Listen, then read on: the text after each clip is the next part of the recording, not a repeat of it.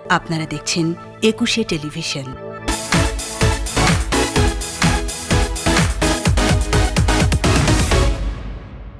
সুপ্রিয় দর্শক, সবাইকে স্বাগতম জানাই ইটিভি রেগুলার আয়োজন career guide with me as your host Golam Samdani Don. Who does not appreciate creativity সৃজনশীলতা কিন্তু আমাদের সবার পছন্দ। কিন্তু ক্রিয়েটিভিটি বলতেই কি শুধু গান, নাচ বা আর্ট এটাতেই সীমাবদ্ধ? ক্রিয়েটিভিটি কি একটা বিল্ডিং বা একটা ডিজাইনের মাধ্যমে কেউ কাউকে দেখাতে পারে নাকি, প্রকাশ করতে পারে নাকি?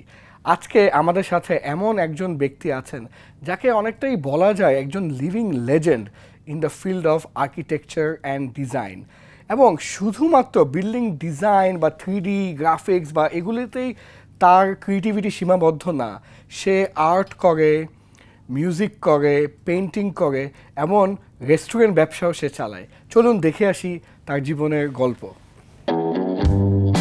দুই ভাই এবং এক বোনের মধ্যে তিনি দ্বিতীয়। জন্ম উনিশশো তেষট্টি সালের এগারোই সেপ্টেম্বর ঢাকায়। বাবা কে এম জি মোস্তফা এবং মা আফরোজা মোস্তফা।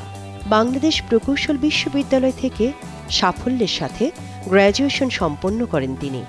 শিক্ষকতার পাশাপাশি উনিশশো আটানব্বই সালে তিনি গড়ে তোলেন ভিস্তারা আর্কিটেক্টস লিমিটেড। এরপর একে একে প্রণয়ন করেন বাংলাদেশে আলোড়ন সৃষ্টিকারী নান্দনিক সব ভবনের নকশা। কাজের স্বীকৃতিস্বরূপ তিনি দেশে এবং বিদেশে একাধিক সম্মাননা অর্জন করেছেন। স্থাপত্যের প্রায়োগিক ক্ষেত্রে তার অভিনব এবং অনন্য সৃষ্টি তাকে বাংলাদেশের স্থাপত্যে একক বৈশিষ্ট্যময় ব্যক্তিত্বের মর্যাদা প্রদান করেছে তিনি স্থাপত্য শিল্পের অন্যতম কীর্তিমান মোস্তফা খালিদ পলাশ Ladies and gentlemen, let us please welcome the legendary Mustafa Khaled Polash. Assalamualaikum. Such a pleasure to have you here. Thank you. Assalamualaikum, please. কেমন আছেন হাউ আর ইউ ভালো ভালো আছি। আচ্ছা ভাইয়া আমার একটা প্রশ্ন। আমাদের বাবা মারা যেখানে কিনা সবসময় বলে আসছে যে ডক্টর হবা বা ব্যাংকার হবা সেখানে আপনি আর্কিটেক্ট কীভাবে হলেন? বিকজ আপনি যখন শুরু করেছিলেন তখন this must have been a very rare profession of course আমি আসলে আর্কিটেক্ট হতে চাইনি। আচ্ছা ওকে আমি হতে চেয়েছিলাম চিত্রশিল্পী. ছবি আঁকা। আচ্ছা। আমার বাবা মা দুজনেই যেহেতু শিল্পী ছিল এবং ছোটকাল থেকে ছবি আঁকতাম আচ্ছা। কিন্তু সমস্যাটা অন্য জায়গায় ছিল। আচ্ছা। সমস্যাটা ছিল চিত্রশিল্পীদের তখন ক্যারিয়ার হিসাবে এটাকে খুব ভালোভাবে আচ্ছা। দেখাও হতো না এবং সচ্ছলতা ছিল না। সেটা থেকেই পরে মনে হলো যে স্থাপত্য এর খুবই কাছাকাছি একটি শিল্প মাধ্যম যেটাকে আমরা প্রফেশন হিসাবে নিতে পারি। তারপরে স্থাপত্যে ঢোকা হলো। ভাই আমরা ছোট্ট একটা ভিডিও দেখব দেখে will come back to this discussion নগরায়নের কাজ কোনোভাবেই আর্কিটেক্ট বা স্থাপত্য শিল্পকে বাদ দিয়ে কল্পনাই করা যায় না। স্থাপত্য শিল্পের সঙ্গে নান্দনিকতা বোধের মিশেলে নতুন শহরে নতুন নতুন ইমারত তৈরি হচ্ছে আর্কিটেক্টদের হাত ধরেই। এ শাখার নানা দিক রয়েছে। কারও বিশেষত্ব ল্যান্ডস্কেপ ডিজাইনে, কেউ কাজ করতে পারেন আরবান প্ল্যানার হিসেবে, আবার কেউ প্রাচীন স্থাপত্যের পুনর্নির্মাণে। এ পেশায় নিজের উন্নতির পাশাপাশি দেশ ও জাতির উন্নয়নেও ভূমিকা রাখা যায়। আর্কিটেকচার থেকে পাশ করে শুধু ইমারত ডিজাইনের মধ্যে সীমাবদ্ধ থাকতে না চাইলে বিভিন্ন three D animation three D modelling, AutoCAD drawing, এমনকি গ্রাফিক্সের কাজ করে ক্যারিয়ার গড়ার সুযোগ রয়েছে। এখানে মেধা বিকাশের পাশাপাশি রয়েছে সম্মানজনক আয়ের সুযোগ। তাই সরকারি তো বটেই বেসরকারি প্রতিষ্ঠানেও আর্কিটেক্টদের চাহিদা দিন দিন বেড়েই চলেছে। আমরা দেখতে পেলাম এখন অনেক স্টুডেন্টরা ইন্টারেস্টেড আর্কিটেক্ট হতে চায়। আপনার কি মতামত আর্কিটেক্ট অ্যাজ আ পেশা? একটু প্রেক্ষাপটটা বলি কি ছিল আর কি হয়েছে এখন? সেটা হচ্ছে যে আমরা যখন পাশ করি নব্বই দশকের গোড়ার দিক পর্যন্ত পুরো বাংলাদেশে একটি প্রতিষ্ঠান ছিল আচ্ছা। প্রকৌশল বিশ্ববিদ্যালয় সেখানে একটি বিভাগ ছিল স্থাপত্য বিভাগ। সেখান থেকে স্থপতিরা বের হতেন। ওকে। স্নাতক করতেন করে বের হতেন এবং সেটা সংখ্যা আমরা যখন বেরিয়েছি পঞ্চাশ। আচ্ছা। কিন্তু এরপরে নব্বইয়ের দশক থেকে শুরু করে আজ পর্যন্ত এখন পর্যন্ত আমাদের পঁচিশটির উপরে বিশ্ববিদ্যালয় সেটা পাবলিক বিশ্ববিদ্যালয় এবং প্রাইভেট বিশ্ববিদ্যালয় মিলে পঁচিশটি বিশ্ববিদ্যালয়ে স্থাপত্যের উপরে পড়ালেখা করানো হচ্ছে। আচ্ছা। এর সুবিধা যেমন আছে অসুবিধাও কিন্তু আছে। যে আমরা এত ছাত্র যে বের হচ্ছে আমরা হ্যাঁ, আমরা হ্যাঁ। মার্কেটে যে আসছে আমরা এদেরকে অ্যাবজর্ব করতে পারব কিনা. আমাদের আরবানাইজেশনটা সেরকম কিনা? তার একটা ছেলে গ্ল্যামার মনে করছে আর্কিটেকচার পড়াটাকে এখন। পড়ে এসে তারপর দেখছে তো হতাশা। তবে যে কোনো পেশাতে তার শুরুতে হতাশাই কিন্তু তার ভিত। এবং স্থাপত্য পেশায় এটা বিশেষভাবে প্রযোজ্য এই কারণে যে একটা সময় খুব স্ট্রাগল করতে হয়। স্ট্রাগল করার পরে যেখানে যেভাবে বলা হলো যে আয়ের পথ পথ বের করতে সুগম এবং এবং অনেক অধ্যবসায় হ্যাঁ, আসলে খুব আর স্থাপত্য শিক্ষার সুবিধাটা হচ্ছে যে একটা সার্বিক পরিমণ্ডলকে ঘিরে হয়তো পঞ্চান্নটা ষাটটা সাবজেক্ট পড়ানো হয়। এমন কিছু নাই পড়ানো হয় নাই মানে almost jack of all trade সব কিছুই পড়ানো হয় যার কারণে তাকে যে কোনো পদ বেছে নিতে খুব সুবিধা হয়। তো এখন আপনি যখন রিক্রুট করেন কি ধরনের গুণবলী কি ধরনের কোয়ালিটিজ আপনি ক্যান্ডিডেটের মধ্যে দেখেন?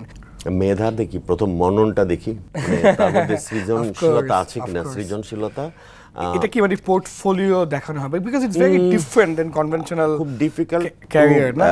স্পেল আউট বিকজ আমার আমার অফিসের কাজের ধরন কিন্তু একদম অন্যরকম। আচ্ছা। অনেক অফিসে আছে যে না অনেকেই ডিজাইন করে আমাদের অফিসে একমাত্র আমি ডিজাইন করি। আচ্ছা। আর আমার যারা সৈন্য সৈন্য বাহিনী তারাও আমার অংশ এবং আমি কিছুদিন বুঝি তারপর কিছুদিন শিখেও যায়। সুযোগও তো দিতে হবে। স্কুলে তো একটা লেভেল পর্যন্ত শেখাচ্ছে। আসল শিক্ষাটা হচ্ছে যখন সে কর্মক্ষেত্রে চলে আসছে। আমরা একটা ছোট্ট বিরতি নিব। দর্শক মণ্ডলী কোথাও যাবেন না। Will be back after this short break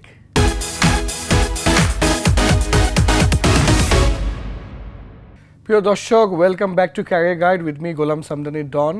আর দেশের সবচেয়ে বড় আর্কিটেক্ট পলাশ স্যার আমাদের সাথে আছেন। Will be talking with him ভাইয়া মেকআপ রুমে একটা এইটটি এইটটি এইটটি না এইট এইট এইট একটা 88, triple eight। theory কথা বলছিলেন। ট্রিপল এইটের থিওরি আসলে থিওরি নেই। এটা আমি বানিয়েছি আমার জন্য আমার কাছে মনে হচ্ছে মানুষের দেহেরও তো তিনটা ভাগ। আচ্ছা। প্রথম এক আট ঘণ্টা আমার পেটের জন্য দরকার সেইখানে আমি আট ঘন্টাই কাজ করব।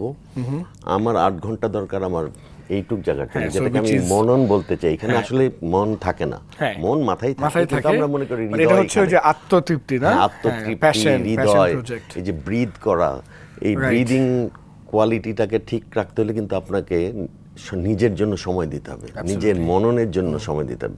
আর আট ঘণ্টা ঘুমাইতে হবে। ব্রেনকে রেস্ট জন্য। মানে it is is a very interesting thing আমি এরকম কিন্তু শুনি না এটা নিয়ে একটা বই লেখা উচিত আসলে। না এটা মনে হয় আমার কাছে মনে হয় আমরাও অনেক কষ্ট একসময় কাজ করেছি। বাট এখন মনে হয় যে গুছিয়ে যদি করতে পারতাম হয়তো আট ঘন্টাতেই চলতো। এর বেশি যে কাজ করে এর বেশি যে ইনকাম করে তার আসলে ওটা এনজয় করার সময় থাকবে না। হোল দ্যাট থট ভাইয়া। আমরা ছোট্ট একটা ভিডিও দেখব। বাংলাদেশে আগে শুধু পাবলিক ভার্সিটিগুলোতে পড়ার সুযোগ ছিল, কিন্তু বিগত বিশ বছরে এটি অনেক ফ্লরিশ করেছে। এখন অনেক প্রাইভেট ইউনিভার্সিটিতেও এর সুযোগ আছে এবং অনেকে চাইলে ডিপ্লোমা শেষ করেও আর্কিটেকচারের বিএসসি ইঞ্জিনিয়ারিংটা কমপ্লিট করতে পারে। ঢাকায়, সিলেটে, খুলনায় এবং চট্টগ্রামে অনেক ইউনিভার্সিটি আছে যেখানে যে কেউ চাইলে যার একটা সায়েন্স ব্যাকগ্রাউন্ড আছে, সে আর্কিটেকচারে গ্র্যাজুয়েশন কোর্সে ভর্তি হতে পারে। আমি মনে করি সর্বপ্রথম একজন আর্কিটেক্টকে মানবিক হতে হবে। কারণ আমি in the end of the day একজন এন্ড ইউজারের জন্য ডিজাইন করছি। সো তার ফিলোসফি এবং সাইকোলজি যদি না বুঝতে পারি, তাহলে সৃজনশীলতা কোনো কাজে দিবে না। এবং এর পাশাপাশি আমাকে থাকতে হবে কঠোর পরিশ্রম এবং ধৈর্য ধারণার ক্ষমতা। একজন আর্কিটেক্টের প্রথম যে গুণটা থাকা একটু বেশি জরুরি, সেটা হলো সৃজনশীলতা ক্রিয়েটিভিটি এটা থাকলে সে এই পেশার সাথে ভালোভাবে নিজেকে খাপ খাওয়াতে পারে। ভাইয়া একটা জিনিস আমার আপনাকে নিয়ে খুবই মানে ফ্যাসিনেটিং লাগে। You being the leading architect of the country এর মধ্যে আপনি যেটা বলছিলেন যে প্যাশন প্রজেক্ট আপনার আর্ট আপনি পেন্টিং ওখান থেকে Tagore terrace beautiful aesthetic restaurant হ্যাঁ কীভাবে আপনি এই ব্যালেন্স করেন? আমি তো বলেছি যে আমি আট ঘণ্টা কাজ করতে চাই। পেটের জন্য এর বেশি আমি কাজ করব না। করব না হ্যাঁ। না। সেটা জুতা সেলাই করতে হলে আমি আট ঘন্টাই করব আর্কিটেকচার করতে হলেও আট ঘণ্টা করব। এবং আমার অফিসেও তাই আমার অফিসে পাঁচটায় ব্ল্যাক আউট এরপরে কাজ হয় না। এরপরে কি কাজ হয় জানেন? এরপরে কাজ হয় আমি কাজ করি কি কাজ করি? আমি আমার ম্যাগাজিন করি একটা। বাংলাদেশে এক মানে একমাত্র স্থাপত্য ম্যাগাজিন একটাই আছে। আচ্ছা। এবং এই যে স্কুলগুলো তৈরি হচ্ছে সেখানে মানে ইন্টার কমিউনিকেশন যে ক্রস কমিউনিকেশন দরকার এই ম্যাগাজিনের মাধ্যমে সেটা হচ্ছে সেটার কাজ করি ছবি আঁকি। মানে absolutely I am a flying bird at that time ভাই I think you are very lucky যে আপনি যেমন একটা full on three sixty degree একজন ক্রিয়েটিভ মানুষ তো আপনি আপনার ক্যারিয়ারটা ক্রিয়েটিভিটির আশেপাশে কিন্তু গ্রো করতে পেরেছেন। কিন্তু আমি পার্সোনালি অনেক মানুষকে চিনি যারা হয়তো একটা ফুল টাইম জব করে কিন্তু ভিতরে ভিতরে কিন্তু সে মিউজিশিয়ান অথবা আর্টিস্ট এবং তারা দেখা যাচ্ছে প্রতিদিনই একটু ধুকে ধুকে মরে হ্যাঁ তাদের জন্য কি অ্যাডভাইস কি করতে পারে তারা? সীমাবদ্ধ করতে হবে কাজের সময় কাজ খাবার সময় খাবার খেলার সময় খেলা যেমন আমাদের ছিল বিকালে খেলতাম মানে সন্ধ্যায় পড়তাম। একটা রুটিন লাইফ করতে হবে কিন্তু। I I maintain a very routine life সোসাইটিটা fragmented হয়ে যাচ্ছে। Society is based on Facebook হয়ে যাচ্ছে। সেটাকে আবার আমাদের চেষ্টা করা উচিত। আমরা ছোটকালে আমরা দেখেছি আমার বাবা সন্ধ্যার সময় হলে সবাইকে জড়ো করে বসে বন্ধু গান গা গান গাইতে হবে। এই ফেসবুকটা আমাকে কিন্তু আমার সমাজকে আমার সংসারকে আমাদের সব কিছু থেকে আলাদা করে ফেলছে ডিটাচ করছে।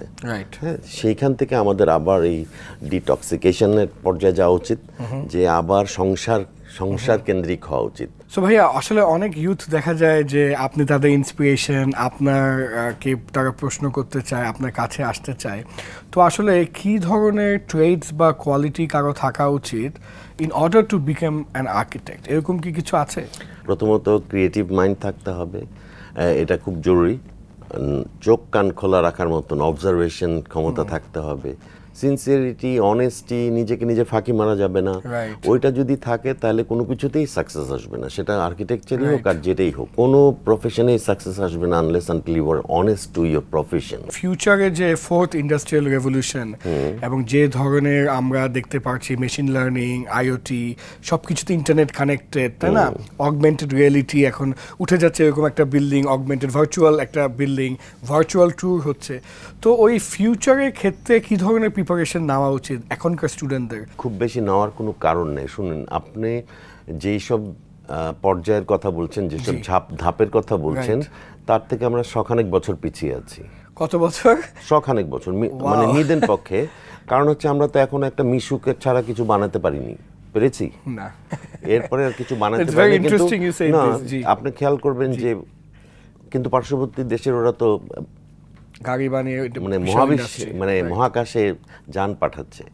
তো কোথায় তাহলে প্রবলেমটা হচ্ছে বলেন তো? প্রবলেমটা হচ্ছে যে আমরা আমাদের যে রিসার্চ বেস ওইখানে কোনো কিন্তু জল তেল জল দেওয়া হচ্ছে না। আমরা খালি আচ্ছা। ইঞ্জিনিয়ার বানাচ্ছি ডাক্তার বানাচ্ছি। ইঞ্জিনিয়ার ডাক্তার তো কোনো রিসার্চার না।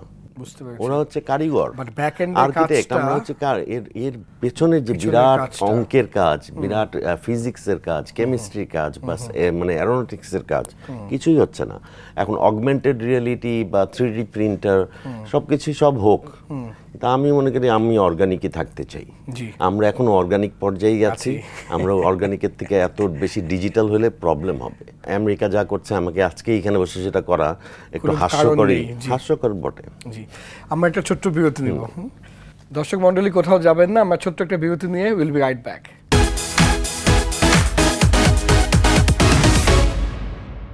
প্রিয় দর্শক welcome back to career guide with me Golam Samdani Don বাংলাদেশে ওয়ান অফ দি এখন কিন্তু দি বলছি না। One of the leading architect Palash ভাই আমাদের সাথে আছেন। আর্কিটেকচার বা এই ধরনের যখনই কথা উঠে অনেকের একটা মিসকনসেপশন আছে যে এটা মনে হয় শুধু কর্পোরেটদের বা বড়লোকদের কাজ। হ্যাঁ এটা নিয়ে যদি আপনার কোনো কমেন্টস থাকতো। স্থাপত্য সবসময় বিশ্বব্যাপী সেটা হয়েছে। অ্যাপারেন্টলি মনে হয়েছে এটা বড় লোকদের জন্যই করা হচ্ছে। আচ্ছা তো এই ধারণাটা অনেকটা এটা সত্য সত্য না আচ্ছা। ধারণা জন্যই করা হচ্ছে। কিন্তু আপনি ভালোভাবে খেয়াল করবেন যে আসলে প্যারালালি কিন্তু দুদিকেই কাজ হতে পারে হওয়া উচিত। এনি বিল্ডিং ইজ মানে একটা ইমপ্ল্যান্ট করা হচ্ছে। নেচারের মধ্যে একটা আপনি ম্যানমেড ম্যান মেড জিনিস ইমপ্ল্যান্ট করছেন. কিন্তু এর সঙ্গে সঙ্গে যে ভার্নাকুলার আর্কিটেকচার বলি আমরা যেটা আমার গ্রামীণ যে জায়গাটা আছে সেই জায়গায় কিন্তু আমরা খুব একটা হাত দিতে পারছি না। তো এছাড়াও এই প্রফেশনে আর কি ধরনের অবস্টাকেল আপনি ফেস করেন বা যে কোনো আর্কিটেক্ট ফেস করতে পারে? প্রথমত ফ্রাস্ট্রেশনে পড়ে না হারিয়ে আচ্ছা। যাওয়া এখানে কি ফ্রাস্ট্রেটেড হয়ে যাওয়ার চান্স অনেক হ্যাঁ শুরুতে খুবই সম্ভাবনা আছে। আচ্ছা। আমি তো আমি নিজে ফ্রাস্ট্রেটেড হয়ে গিয়ে বুয়েটে মাস্টারিতে ঢুকেছিলাম যে আমার পক্ষে আর্কিটেকচার প্র্যাকটিস করা সম্ভব না। ওয়াও তাহলে হ্যাঁ। আপনি কীভাবে কামব্যাক করলেন? আবার কাম করলাম যে কীভাবে? ওটাও রাগ করে ছেড়ে দিলাম বই এক সময় রাগটা আসলে কাজ করেছে অভিমান অভিমান করে ছেড়ে দিলাম। এখন কথা হচ্ছে এই ফ্রাস্ট্রেশনটাকে উতরাতে হবে? এক নাম্বার আর আর্কিটেকচার তো অনেক সুবিধা। আপনি যে এখানে বলা হলো যে গ্রাফিক্স করা যাচ্ছে এখন ঘরে বসে অনেক ধরনের কাজ সে করতে পারে। সে ইন্টেরিয়ার করতে পারে গ্রাফিক্স করতে পারে সিনেমা বানাচ্ছে আর্কিটেক্টরা ভালো। মানে কারণ বেসটা তো মানে- ক্রিয়েটিভিটি হ্যাঁ ক্রিয়েটিভিটি বেস এবং একটা ব্রড সব কিছুরই মানে এক চামচ করে কিন্তু দেওয়া আছে আপনাকে। ডাক্তারি করতে পারবে না। ইঞ্জিনিয়ারিং করতে পারবে না হ্যাঁ। কিন্তু অন্যান্য যে মানে সার্ভিসেস আছে সেখানে সে অবশ্যই যেতে পারে। আমি আপনার কথা হ্যাঁ। শুনেও কিন্তু ভাইয়া উপলব্ধি করছি যে বাবা মাদের তাদের সন্তানদের জোর করে অ্যাটলিস্ট আর্কিটেক্ট বানানো যাবে না। আর্কিটেক্ট মানে এটা এটা ডিফিকাল্ট খুব ডিফিকাল্ট এটা আসলে ভিতর থেকে যদি ক্রিয়েটিভিটি এবং প্যাশনটা না আসে এটা একটা ডিফিকাল্ট ক্যারিয়ার হয়ে উঠতে পারে। ডিফিকাল্ট ডিফিকাল্ট হয়ে যেতে পারে এবং অনেক সময় অনেকে ছেড়ে দিয়েছে অন্য প্রফেশনে গেছে তাতে কোনো অসুবিধা নেই। আর সর্বোপরি কথা হচ্ছে যে এত স্কুল হলে আমাকে আসলে একটা শিক্ষক গড়ার স্কুল বানাইতে হবে প্রথম। আচ্ছা মানে ট্রেন দ্য ট্রেনার টাইপের ট্রেন Exactly. আর্কিটেক্ট করতে হবে। আপনি ভালো করে খেয়াল করেন না আমাদের স্কুলে ছিল না বিএড করে আসতো বিএবিটি right. আমরা আমাদের টিচাররা ট্রেনিং করে আসতো না। তাহলে কেন আর্কিটেকচার পড়ানোর জন্য যারা টিচিং এ যাবে তাদের একটা কোর্স বা এটা থাকবে না থাকা উচিত খুবই জরুরি।